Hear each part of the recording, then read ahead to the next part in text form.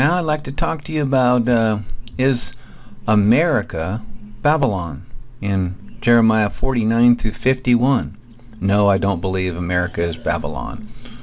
Uh, I do believe that um, Babylon has, as it says in the Bible, has uh, the daughters of Babylon. Those are different um, uh, daughters of this uh, religious uh, heresy, which is the Vatican. I believe the Vatican uh, the Catholic Church, which used to be the Roman Catholics, which used to be the Romans who put, who Pontius Pilate put Jesus Christ on the cross. Uh, yes, the Jews are the ones who made the decision uh, to choose Jesus instead of, uh, I believe it was Barabbas, the murderer. So they let Barabbas go and put Jesus on the cross because they thought he was a false prophet and uh, blasphemy to, to God. So they never accepted Jesus Christ. And no, I don't believe after studying um, Revelation 14 through 18, speaking of Babylon, about seven or eight times, Mystery Babylon, and I believe that the word Mystery Babylon used in Revelation 17:5 is definitely stating for the fact modern Babylon, because obviously uh, uh, uh, modern Babylon is certainly not the same as 4,000 years ago when uh, it started all at the Tower of Babel. So, I believe that Babylon represents the four one world um, dominations, and this will be the coming fifth one world domination, the final. Uh, and I believe that, um, of course, also another thing to note that the uh, biblical number numerology for number five stands for grace. Isn't that wonderful? Yes, the grace of God's going to save his people during this time and purify the earth when it's all done in the time of Jacob's trouble. But back to the fact that the mystery Babylon um, is modern day Babylon. It's a mystery because they're cloaked under the name of Catholic uh, Christians and have taken stolen the name Christians from the true Christians in the Bible. And so I'm going to quick, quickly pull out my King James Pure Bible Search, my uh, sword weapon here. Three times the word Christian over here occurs in the Bible, Acts 11:26, and when he had found him, he brought him unto Antioch, where the first church started, and it came to pass that a whole year they assembled themselves with the church and taught much people, and the disciples were called Christians first in Antioch.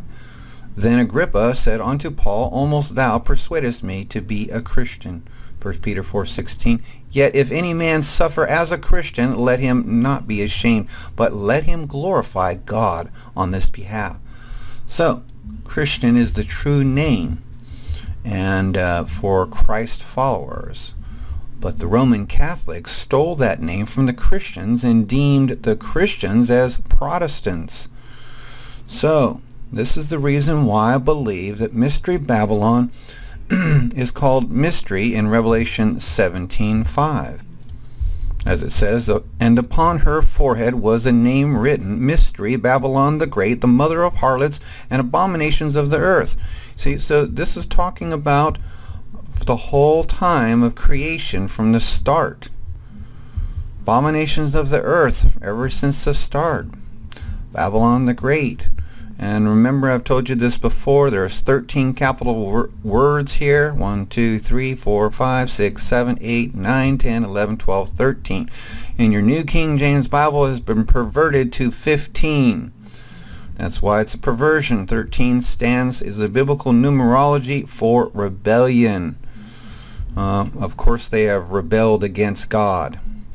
So uh, there's many other reasons why the Catholic Church is noted as uh, because their ID right here for one gold impression stones purple and scarlet color in Revelation 17:4.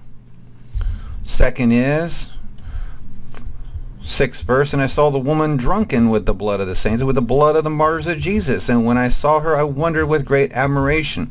Speaking of Old Testament and New Testament. Remember, this is Babylon, not just the Vatican. And yes, 60 million Christians have died uh, since Jesus has died in the last 2,000 years. The papacy, the Catholic Vatican and Catholic Church has killed about 60 million of them, not including Islam, which they created themselves. Um, so, and again we have another idea in second verse, with whom the kings of the earth have committed fornication, and the inhabitants of the earth have been made drunk with the wine of her fornication. Okay? So that's talking about the whole earth. And Revelation 17:11, the whore that sitteth on the beast says that was and is not, even he is the eighth and is the seven and goeth into perdition. This is the Antichrist. This is Satan manifested in the Antichrist. So that's why I believe the uh, the Antichrist is comes out of the Pope, who is the false prophet. He gives his reign over the earth to the Antichrist in the time of the uh, Jacob's trouble.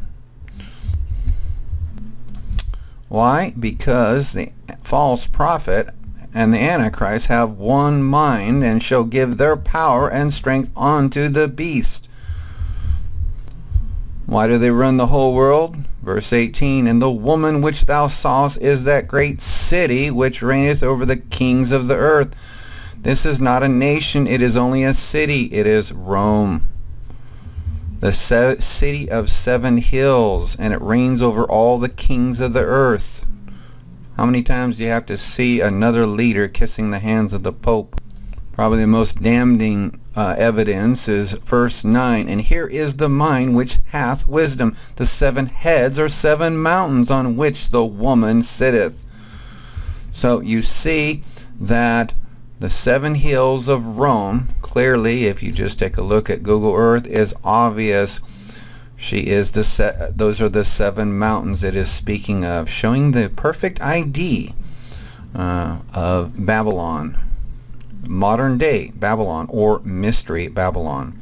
So, is Babylon America? No. As we continue into Now the End Begins, have you ever wondered why America is not listed among the nations in Bible prophecy? May 8th, five days ago. Is America is on the verge of being judged and destroyed by God Almighty? That ye be not soon shaken in mind or be troubled, neither by spirit nor by word, nor by letter as from us, as the day of Christ is at hand. Let no man deceive you by any means, for that day shall not come, except there falling come a falling away first, and that man of sin be revealed, the son of perdition. What did I just tell you in Revelation 17? He goes into perdition.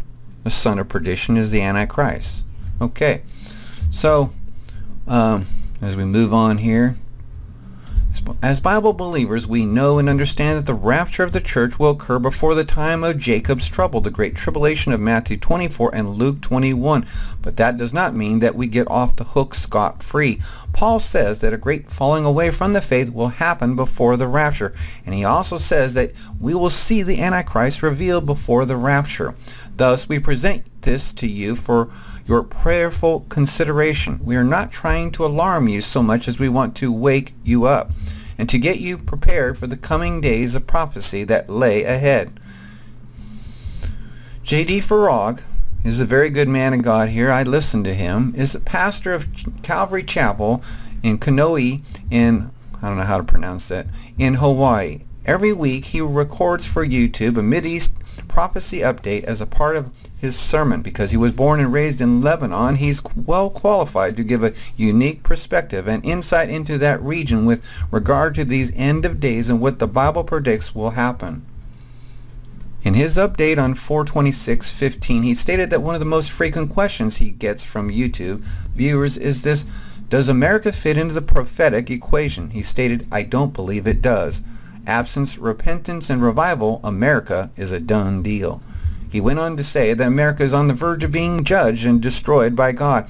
And even if this country is the Babylon spoken of in Revelation, then we're probably even closer to the end by virtue of the prophecy regarding Babylon's sudden destruction. I'm sad to say I concur with this his assessment, especially when adding all the available data and I and many others have been gathering. So again, I disagree.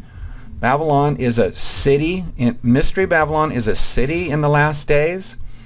Old Babylon wasn't. It is now a city.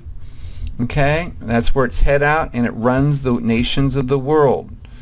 Is Babylon within America? Yes, it's within. In fact, it's very powerful in America, and it's yes, it's going to be. America is going to be judged for the sins of these people. But uh, I believe that yes, I believe it's possible that the Antichrist is revealed before the time of Jacob's trouble, and it's a good warning for the body of Christ, for those who are not right with Christ, to get right real quick. In part one of this article, I told you about the upcoming military exercise Jade Helm 15 to be conducted in this country from July 15 through September 15, three months. Many people, including active duty and veterans all across the armed services, are nervous about what this might bring. Is this the precursor to martial law being instituted in America? Are they going to try to start confiscating our guns and dragging us off to FEMA camps?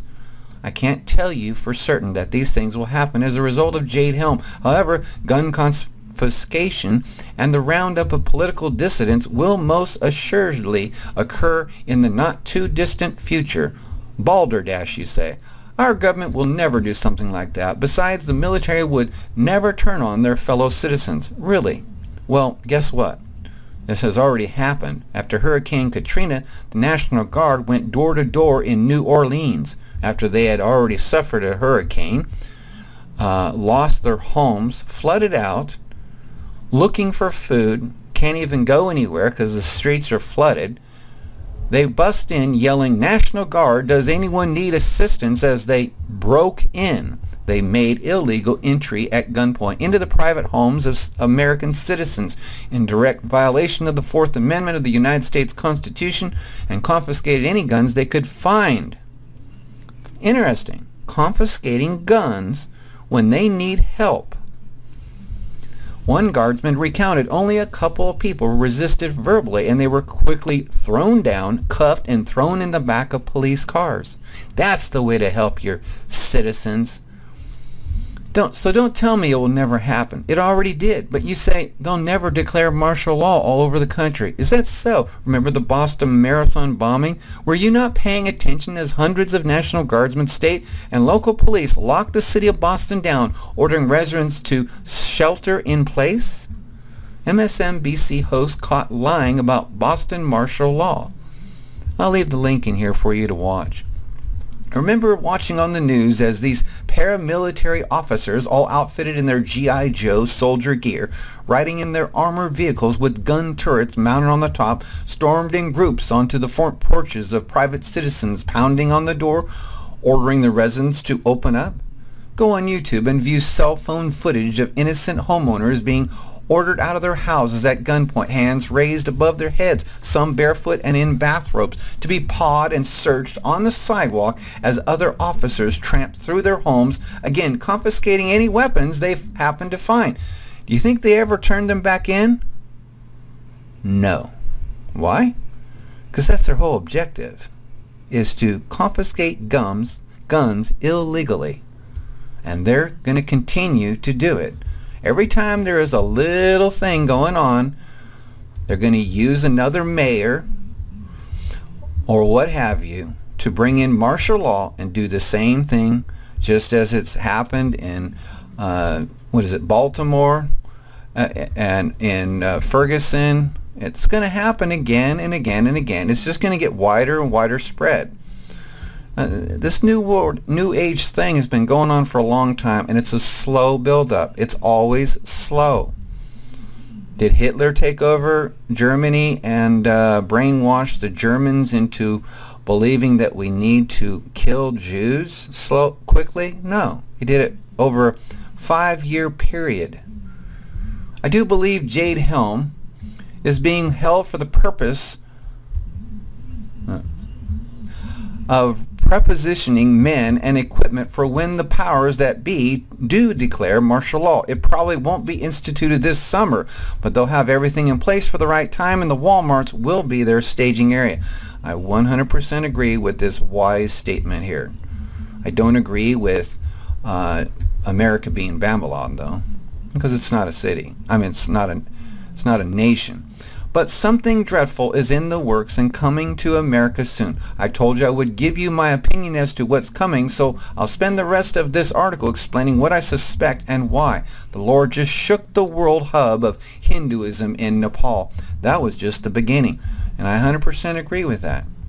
Uh, you know, the Hinduism going on in Nepal, worshiping dead idols and, and false gods, uh, basically worshiping, worship, worshiping Satan through them, uh, is what caused their judgment.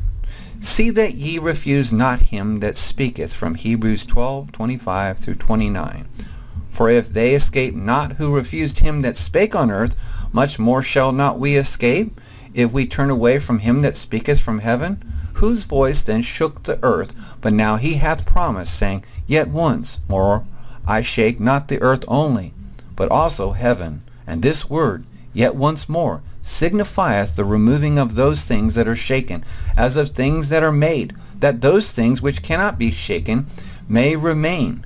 Wherefore we receiving a kingdom which cannot be moved, let us have grace, whereby we may serve God acceptably with reverence and godly fear, for our God is a consuming fire. Surely by now you're awake enough to fully understand we're living in the very end of days before the Lord Jesus Christ snatches his bride off this earth and the Father pours out his wrath on the wicked. Genesis 18:25 says, That be far from thee to do after this manner, to slay the righteous with the wicked, and that the righteous should be as the wicked that be far from thee. Shall not the judge of all the earth do right? So, this verse proves to you that God will never, and never has, but never will, judge the righteous with the wicked. If you think that God's wrath is here already, you got another thing coming.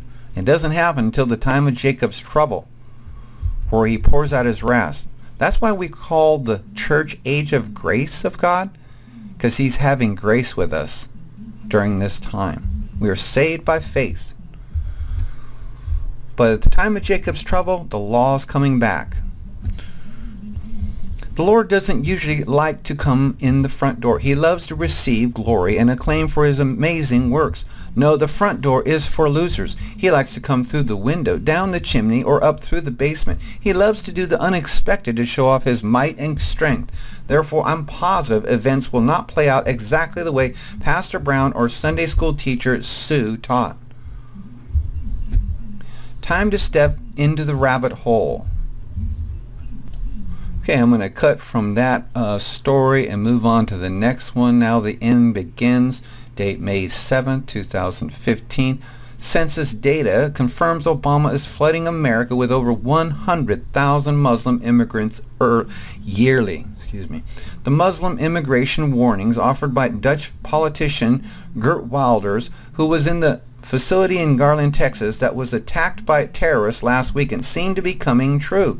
Wilders, who has asked his own parliament to hold an exhibition on the Muhammad cartoons from Garland, Texas event, has warned frequently that high levels of Muslim immigration without assimilation to the Western world, Europe, and the United States of America are dangerous to the culture and the values of the West. A featured speaker at the Garland event, Wilders has been on a terror hit list since 2010 for proposing to place a tax on the hijab worn by Muslim women in the Netherlands. He has also been a vocal about stopping all Muslim immigration into the Netherlands.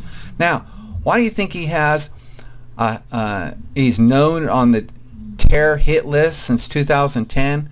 Because the New Age, New World beast system is supporting the Muslims they're going to be part of their threat to cause a major war between uh, Christians and non-Christians and the rest of the world. And who's going to who's going to save them all? You got it. the Antichrist. That this is the whole setup. And then there will be three and a half years of God's wrath while there is somewhat some sort of peace going on in the world as Satan is running it. Then at the end, or the middle, there will be the abomination of desolation and all hell will really, really break loose. But uh, never mistake that the wrath of God is poured out at the start of the time of Jacob's trouble or the Daniel's 70th week. And body of Christ is not appointed to the wrath of God. Take a walk and down the street and see where this is going. Wilders, referring to growing Muslim immigration into this country, previously said, you no longer feel like you are living in your own country. There's a battle going on and we have to defend ourselves. Before you know it, there will be more mosques than churches. Look at this. What a disgusting picture.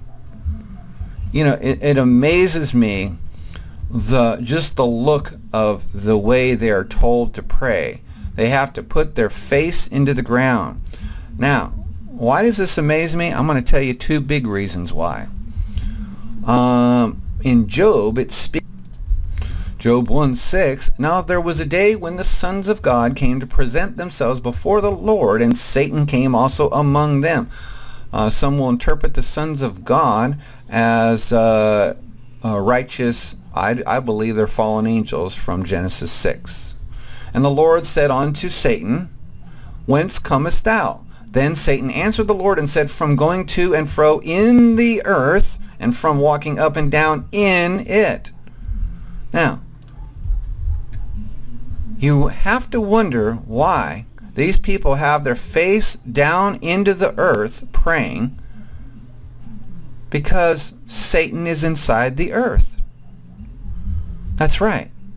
Now, does there need to be a hollow earth for Satan? Well, if Satan and his minions, who are celestial beings, as it says in 1 Corinthians um, 15, if they are celestial beings and there's terrestrial, I'm sorry, yeah, and terrestrial beings, uh, which are us, mortals, then if if there's celestial beings like Satan, then we know that they don't need space to possess people because many people are casted the de- devils out of people.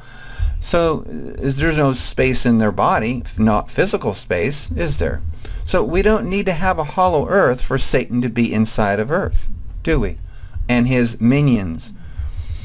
So here they are praying to Satan inside of earth. Doesn't that make perfect sense? Sure does. Notice that the highest thing sticking up is their rear end. Well, I'm not going to comment on that, but um, I think you get the point here. Will Wilder's warning rings true not just in the Netherlands, but in the United States as well? Immigrants from the Middle East are currently the fastest growing immigration demographic coming into the U.S. A recent report from the Center for Immigration Studies shows America in just three years imported more immigrants from the Middle East than from Mexico and Central America combined. In that three years, uh, stop right there. We can thank Mr. Obama 100% for that. Well, he's the one in charge. But uh, definitely, uh, there are many behind him, including the Pope, uh, who is the ruler of the world, as I said earlier, of Mystery Babylon, who is basically running this show. In that three years, there's been a 13% growth in the number of immigrants from Middle Eastern countries. And according to the Conservative Review, the immigration immigrant population from the Middle East will double in 15 years and triple by 2050. No, it won't because the raptures happen way before that. It's about ready to happen any day. Uh, very imminent now. In fact, the United Nations is currently planning to settle roughly 1 million refugees, mostly Muslims in Western countries, Fox News reports. Uh, not the fact, uh, and on the side note here about Muslims, they love to have as many kids as possible. Women are not important except for propagation. They don't really, all they care about is the boys. So the boys are taught to be killing machines, beheading machines. And, uh, and then, of course, they use their children as uh, bombing sites, uh, attach bombs to them, and teach them that they're going to go to heaven and have 72 virgins for 25 people in their family. Such amazing craziness. Uh, so here we have, uh, and then the fact that uh, uh there's a law giving Muslims in this country, uh, starts with a deed, uh, I forgot the name of it, give them tax breaks. Okay? Plus the fact that Obama's just literally paying for all these immigrants to come into the country while we go broke and he takes away our jobs. Talk about destroying America. Next story. Uh, the next story came from May 7th. Anjem Choudary, little devil here, demands the devil of Jewish pig Pamela Geller on Fox News. Islamic Imam Anjem Choudary told Pamela Geller tonight that she should be slaughtered for her Texas cartoon contest. I'll leave the link in here for you up here and you can watch this. Uh, anyway, this is uh, this is disgusting. Uh, you know, right in front of uh, I forgot his name, the reporter here, uh, but it's a very upsetting thing, and and he ends up getting cut off at the end so she can finish talking, because Anjem has no respect, obviously taught from a kid to respect any women. Um, so uh, that's a brief thing. And then we have this. Americans should prepare themselves for the coming Obama-sponsored ISIS homeland terror attacks. This is a sober end times warning to all Americans. Now is the time to be prepared. May 6 is the date here. But this is your hour and the power of darkness. Luke 22:53. America, you twice elected a Muslim racist Marxist who hates this country. Everything is now in place and you are about to pay the price for your love affair with the dark side. And no, we are not talking about skin color. We are talking about spiritual darkness that Obama has wrapped around this nation and the coming mind-numbing terror attacks that have already started here at home. America, you are about to know what it is like to live in a third world country in the Middle East. This is Obama's America and you should be afraid, very afraid, as he laughs and presents the Holy Quran. Right from the get-go, Barack Hussein Obama told us in no uncertain terms that he was on the side of the Muslims and that America would soon become Sharia compliant. During the 2008 campaign, like Hitler writing in Mein Kampf, he told us that radical transformation was coming if you elected him. We are five days away from fundamentally transforming the United States of America. October 30th, 2008. America since 1776 has never needed transformation. All we have ever needed was good men and women to, who would stick to the original ideals ideals and principles set forth by our founding fathers. Transformation is what you have when something changes, and this is what Obama delivered. Excuse me. Now, about this founding fathers and all the Freemason presidents we've had in the past, I believe that they went compliant with allowing uh, Christians to um, continue uh, in this nation and to provide for us hun over hundreds of years, over a hundred years of freedom and build up this nation, uh, uh letting the Christians flourish. And we, we uh, did financially great because of that, God did bless this nation. But we can't understand the things of God always. We're not expected to. Many people want to ask why? Why? Why did God do this? We need to learn as Christians to trust him through all things, no matter what, thick and thin. No matter what um, terror, tragic, uh, ism, disease, or uh, death comes in your family, you have to trust him no matter what. That he is a righteous God and that all things work together for the good that those who love him. Ameri um, for the past six years, Barack, Barack Hussein Obama has worked tirelessly, both behind the scenes and openly, to allow hundreds of thousands of illegal immigrants into this country, as well as importing tens of thousands of Syrian refugees from the Middle East and implanting them all through the Midwest, the Bible Belt, Our heartland is now filled with foreign-born Muslims, almost none of which have been properly processed or accounted for. Mixed in among these refugees are hundreds of hardcore ISIS war fighters from the Middle East who have been busy creating terrorist cells, cells on our soil. This has all been done for one reason and for one reason only to launch Islamic terror attacks on Americans in America.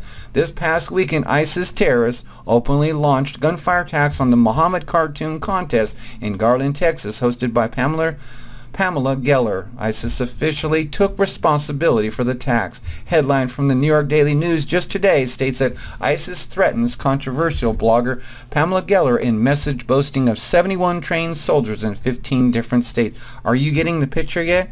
Well, obviously 71 trained soldiers in 15 different states isn't going to amount to hardly nothing. But the point of it is it's growing fast. And I don't really believe there's 71. I believe there's many hundreds or thousands. Or tens of thousands.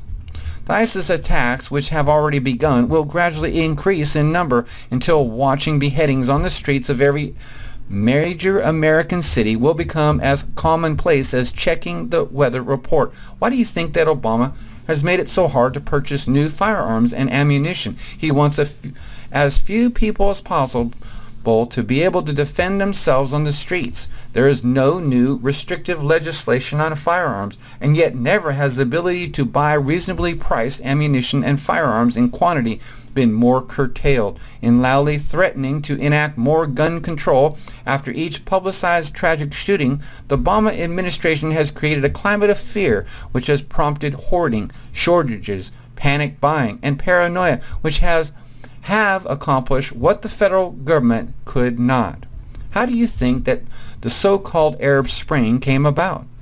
Obama was a major player in this and his puppet master, George Soros, supplied the money. The plan was to destabilize the Middle East and rid the Arabic Arabic countries of their secular governments and replace them with the Muslim Brotherhood. That was the plan. Did you know that there are two major lawsuits pending in Egypt right now charging both Barack Obama and Hillary Clinton with conspiracy against Egypt in concert with the Muslim Brotherhood? In one press conference after another, when referring to the Muslim super terror supergroup ISIS, United States President Barack Obama will use the term ISIL instead of their former name ISIS or a current name Islamic State. Have you ever wondered about that? We have. When Barack Obama refers over and over to the Islamic State as ISIL, he is sending a message to Muslims all over the Middle East that he personally does not recognize Israel as a sovereign nation, but as a territory belonging to the Islamic State. And ISIL, uh, I forgot the meaning of that, but it basically means surrounding Israel and taking back uh, what they think is their land. Honestly, America, how much more proof do you need? Well, we don't. Um, I don't really believe that our voting was actually uh, we actually voted in Barack Obama. I believe for many years we've had voter fraud uh, in this country to bring in Freemasons uh, and to, uh, uh, you know, move forward with their new age, new world, new age uh, Christian thinking and teaching and new world order. But you have to remember we have a sovereign God who um, is in control and allows certain things. Okay? So, so in my closing comments, do I think that America is going to be destroyed before uh, and taken over by uh, military and uh, uh, yes, I believe that this very well could happen before the rapture. Uh, to what extent? I don't think it'd be really long. Uh, and I don't I def like I said I definitely don't I know that uh, America is not Babylon it's not mystery Babylon uh, J.D. Farag is right except for when he said if it possibly well it's not because it's not because it's a city on seven hills and it's not a nation who heads it up. Uh, it's but America will be judged, like I said, for all the sin that's going on here and creating.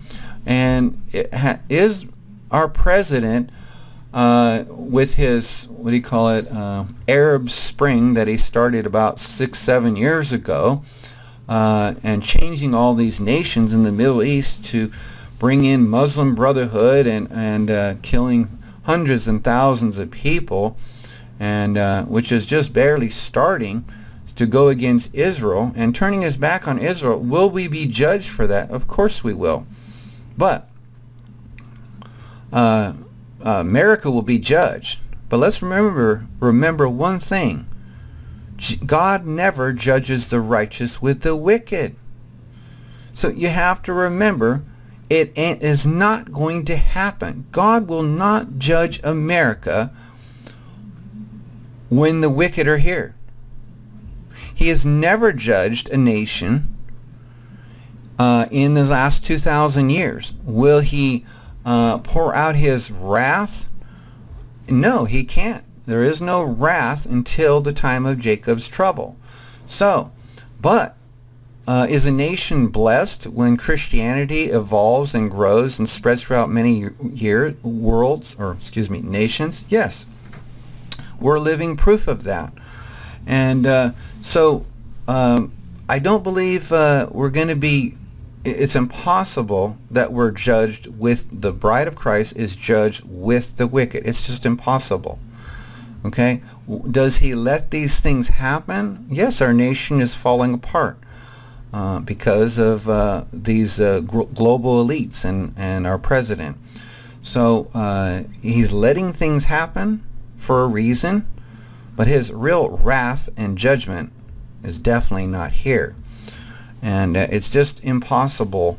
So um, look up, brother, brothers and sisters, because your redemption draweth nigh. And remember to pray that you can escape all these things, as it says in Luke 21, 36. Our time is very short here. We're going home soon, brothers and sisters. God bless you, and have a great day.